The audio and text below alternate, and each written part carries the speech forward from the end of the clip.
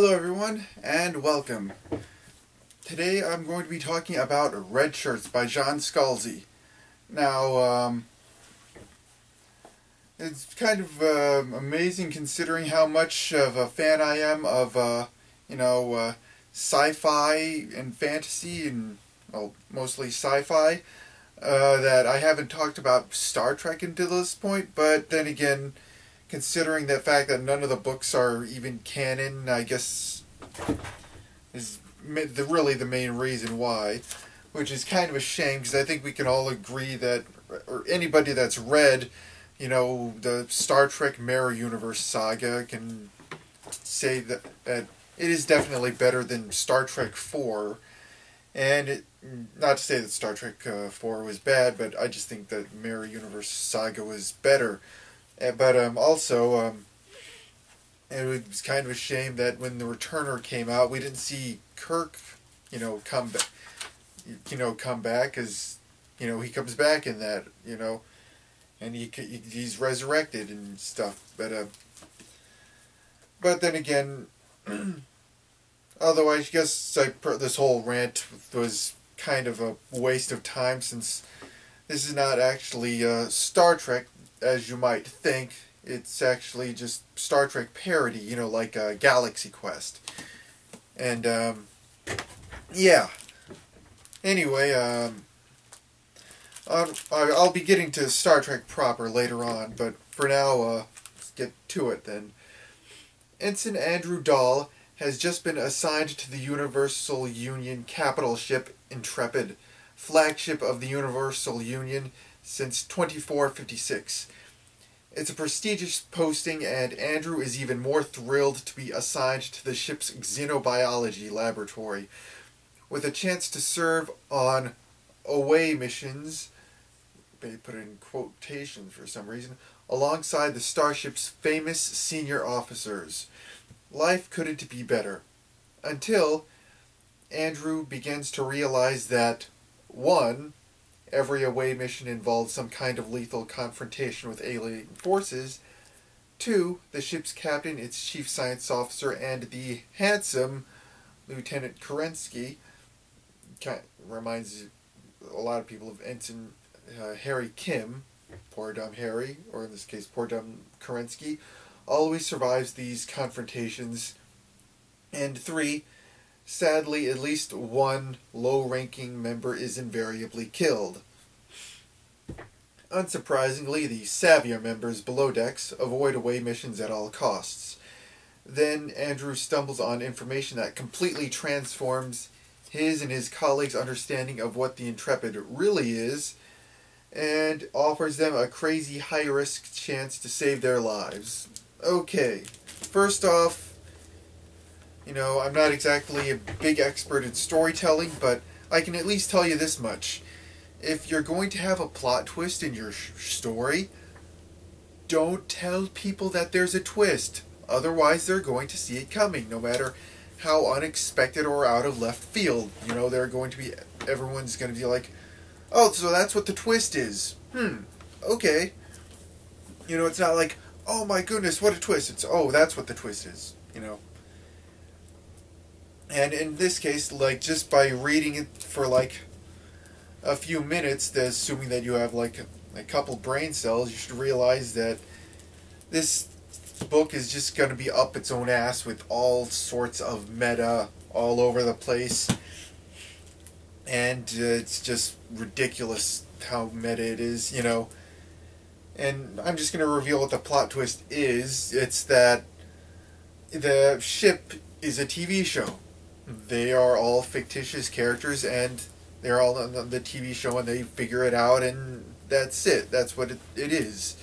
You know, and um, the thing is like, you know, like it's, I'm not entirely sure how they figure it out, but I mean, okay, I was, well, actually they figure it out kind of e- easily. Is like, um, the, the tagline. They were expendable until they started comparing notes. And um, yeah. But i don't necessarily get how they come to the conclusion of tv show or whatever you know. Uh, like when I was first, I was kind of thinking like maybe it's the twist is like, I know they're like they're corrupt or something. They want to the the people in charge want to feel like big big heroes or whatever, and uh, yeah, but um, or maybe there was some sort of conspiracy going on. But no, as as you read it, then you eventually realize, oh, TV show, it's meta, yeah. On the other hand, like all the meta is really hilarious, you know, like um, like there's one a character who's like uh, I think it's Ensign Grover, where uh, he's uh, like he just gets surprised killed out of nowhere, and then like after the battle's over, is like the Kerensky says like it's a shame this is going to be his last day, uh, last away mission. Like he practically begged me to not come, but I insisted. You know, said that it would be our last hurrah. Oh, and I also heard that he was uh, going to get married later on too. And then he was his, the other people's reaction to like was like, "Oh, come on," you know. And there was even one other part where like a character's like think thinks that she's gonna wind up getting uh, as the saying goes um, fridged. and goes the phrase "women in refrigerators." You can look it up. Or like uh, characters, or like uh, female characters are like killed off for like character moments for the for their male boyfriends or whatever. And she's the character's kind of freaking out, like, oh god, I'm gonna die for like this jackass to have a sad character moment. And you know that, and there's plenty of other great humorous moments as well. You know, and I think does a good job at just keeping the humor up, and it's just nice, fun, and dark humor, which I like dark humor. You know, like one movie that I particularly love, Seven Psychopaths, was has lots of people dying and you know like just laughed at that constantly and uh, yeah. And, but even so, the whole meta thing is kind of the point where like they they they actually go back in time, and they somehow meet the writers of their of the show, you know. And uh, I think it kind of says a lot about the purported like writers in this show that apparently they're so they they even wanted to make themselves look more you know, like people who successfully predicted the future that they even wrote themselves into their own universe you know?